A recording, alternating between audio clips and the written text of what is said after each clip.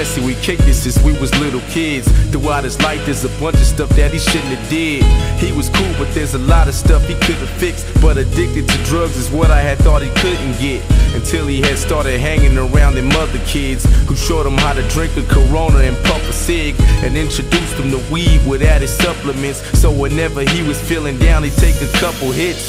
It ain't really bothered me cause it was nothing big, yo. It only bothered me when he started to fuck with Crystal. I'm sure he knew that doing it wasn't a smart move. He'd walk around with humongous pupils like cartoons. I tried to tell him his life goes to be ruined, but he just told me to chill out. He knows what he's doing.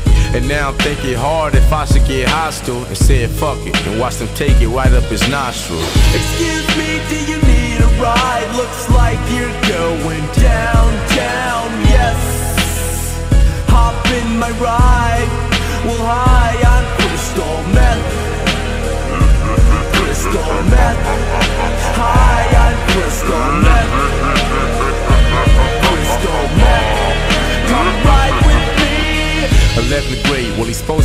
He's in the ninth.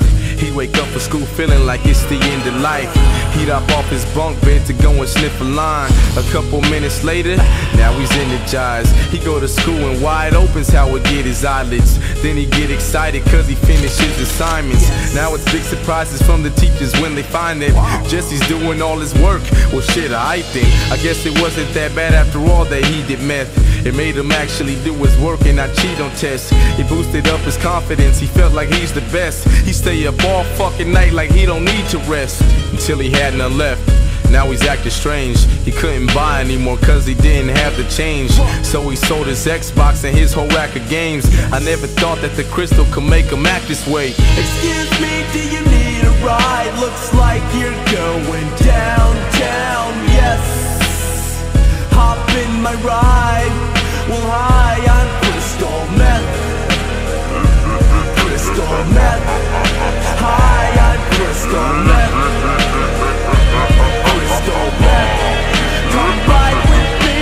Jesse's sister walked inside of his room to get something out. Then she noticed Jesse on the bed, foaming from his mouth. Now she's tearing up, scared as fuck. Oh, he's done it now. So she picks up the phone, gives 911 a dial. She tried to give him CPR before the kid was lost. Then he had woke up and saw her on him and it pissed him off. All of a sudden he went crazy just to fucking get her off. He threw her up against the wall so hard it made a picture fall. He can't really get a grip. She can't believe he did this shit. She kinda knew what made him flip. She yelled, "It's drugs, isn't it?"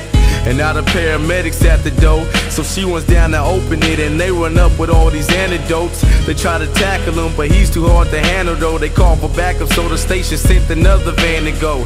When they arrived, he was spitting in their face and eyes. So they injected him until he had a stable mind. They told his sister that it's time for them to take a ride. You lucky that your brother made it, cause he almost died. She went up to say bye, but he must have dozed off. And I barely pulled up when the truck drove off from our apartment buildings. So I didn't see crap. And I didn't get to see him till he got out of rehab. Even when he got out, he was still depressed. Until he heard a little tiny voice in his head that said, Excuse me, do you need a ride? Looks like you're going downtown, yes. Hop in my ride. Well, hi, I'm crystal meth crystal meth. Hi, I'm crystal meth. Crystal